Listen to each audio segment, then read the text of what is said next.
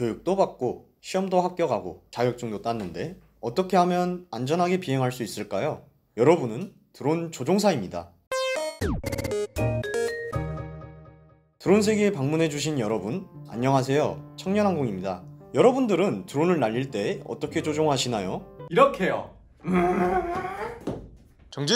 여러분, 드론을 조종하는 동안에는 여러분들의 소중한 드론과 주변 사람들의 안전이 달려 있습니다. 드론 업계에서 항상 중요하게 여겨지는 안전 수칙이 있죠. 바로 조종사 체크리스트입니다. 드론 비행은 항공안전법에 적용을 받으며 국토교통부 홈페이지에서도 자세한 내용들을 정리하여 공지하고 있죠. 그만큼 몇 번을 강조해도 부족한 내용이 조종자가 체크해야 할 안전 수칙들입니다. 시동. 조종사 체크리스트의 내용은 다음과 같습니다. 첫 번째, 사고나 분실에 대비해 장치에는 소유자의 이름과 연락처를 기재하도록 합니다. 두 번째, 즉각적인 비상사태에 대비하기 위해서 항상 유광거리 내에서 비행합니다. 세 번째, 야간에는 비행하지 말아야 합니다. 여기서 야간이란 일몰 후부터 일출 전까지를 말하죠. 네 번째, 사람이 많은 곳 위로 비행을 하지 않습니다.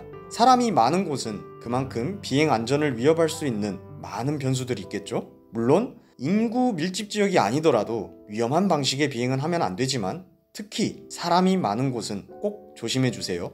이륙. 다섯 번째, 음주 상태에서 조종하지 않습니다. 이는 차량과 마찬가지로 음주운전에 해당되기 때문에 단 한 잔이라도 마셨을 경우 비행해서는 안 되겠습니다. 여섯 번째, 비행 중 낙하물을 투하하면 안 됩니다. 드론을 날리는 건 배틀그라운드를 하는 것과는 다릅니다. 낙하물로 인한 물건 파손과 인명 피해는 발생시켜선 안 된다는 것 잊지 마세요. 일곱 번째, 항공 촬영 시 관할 기관의 사전 승인을 받아주세요.